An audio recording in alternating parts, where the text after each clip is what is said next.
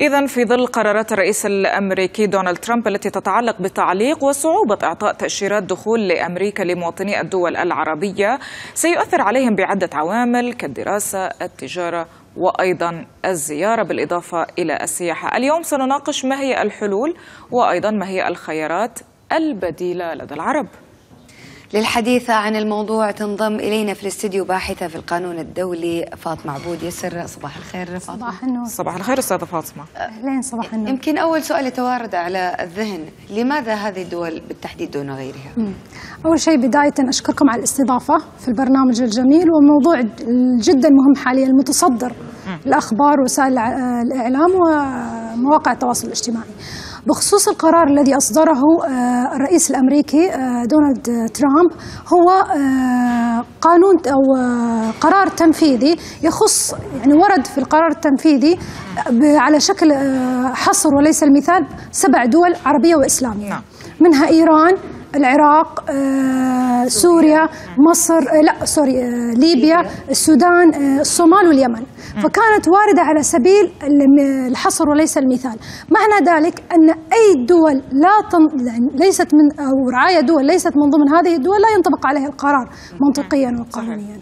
طيب بس حتى لو يعني إحنا عارفين إنه هو القرار لا يشمل كل الدول العربية وكان محدد جدا في الجنسيات اللي هي ممنوعة من الدخول.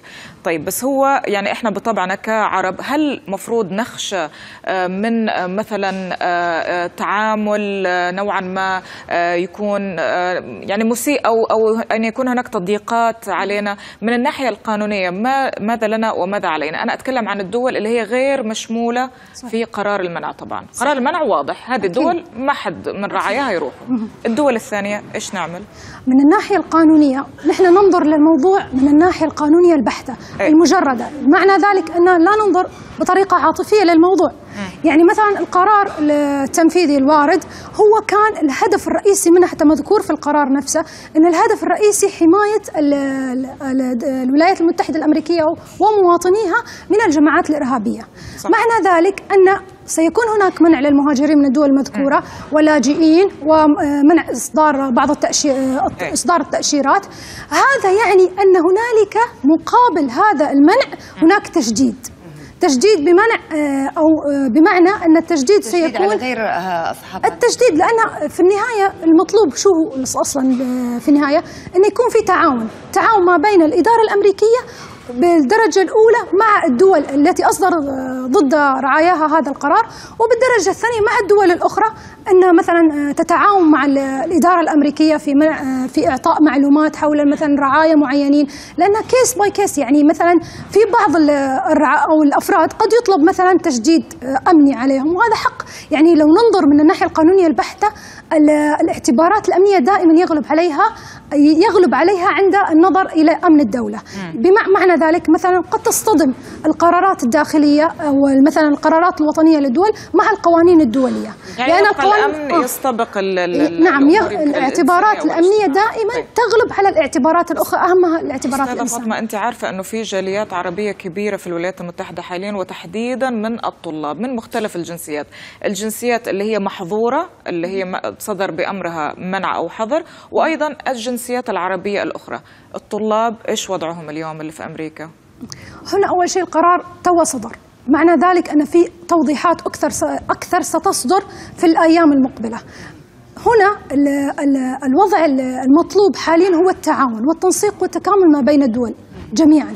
بحيث ان مثلا مثل هذه القرارات لا تؤثر بالسلب على رعايا الدول المحظ الدول الم- المحظورة والدول الأخرى. جميل.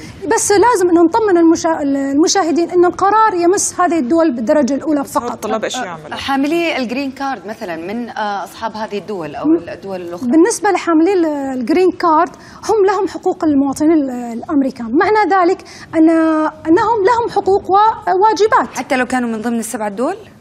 هم؟